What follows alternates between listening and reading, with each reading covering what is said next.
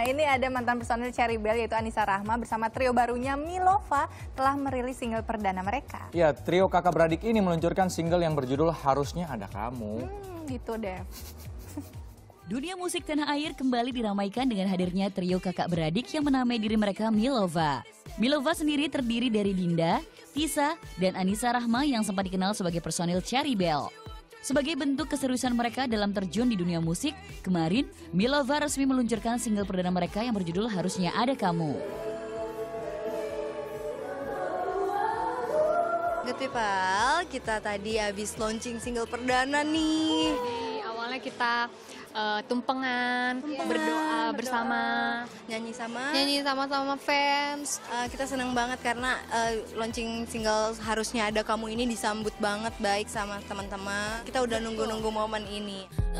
Pada proses pembuatan video klip single perdana ini, setiap personil mengambil bagian dengan memberikan ide dan masukan dalam pengerjaannya.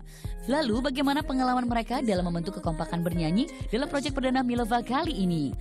Kayak Anissa Raisa kemarin uh, Nis Raisa gimana ya tema untuk bajunya pada saat di video klip gitu. Jadi kita benar-benar bagi tugasnya sampai terlibat uh, segitunya gitu. Terus kayak waktu itu aku minta Nis gimana ya ini tema lagunya kan tentang harusnya ada kamu. Cuman pembuatan video klipnya kan pengennya nyambung terus gimana dan itu mereka lebih mau banyak komunikasi juga sih jadi terbantu gitu kalau nyanyi sih menurut aku justru kita kompak ya maksudnya pas nyanyi memang di atas panggung ya ya udah memang kita bertiga gitu Karena mau gimana pun juga chemistry-nya udah tumbuh dari dari dulu eh, lah ya. iya, dari kecil gitu kan Apalagi kita udah sering nge- nge-cover-cover lagu di SoundCloud, YouTube gitu. Jadi untuk menyambungkan suara kita tuh nggak butuh Iya.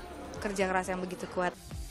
Hadirnya Milova tidak terlepas dari campur tangan seorang Ardo Sebastian selaku produser dan pencipta lagu seharusnya ada kamu. Hal apa yang mendorong Ardo tertarik untuk memproduseri Milova? Dan sebenarnya, apa isi dari lagu tersebut? mereka itu chemistry sebagai saudara tuh udah sangat kuat lah ya dan chemistry untuk bernyanyinya tuh sangat bagus jadi eh, ketika mereka bernyanyi itu harmonisasinya yang ditonjolkan kalau lagu ini juga ada eh, ceritanya ya dulu aku bikin lagunya ini waktu lagi traveling lagi traveling itu ngebayangin ya ngayal aja sebetulnya kalau misalnya traveling ini lebih enak kalau ada seseorang di samping kita gitu.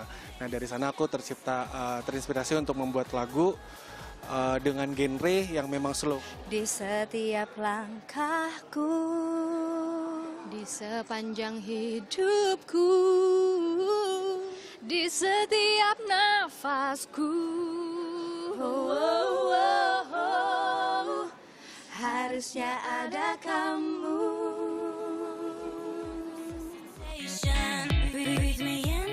Yeah, that was Milova keren banget ya harmonisasinya tuh dapat banget karena memang nggak perlu repot-repot bangun chemistry kakak adik. Enak banget ya udah cantik, jago nyanyi, terus sekarang apa-apa bisa bertiga. Ih, pasti seru banget. Harusnya ya. sih ada saya. Eh, bukan, harusnya harusnya sih ada kamu kamu. gitu tadi judulnya ya. Eva Germa. Oke.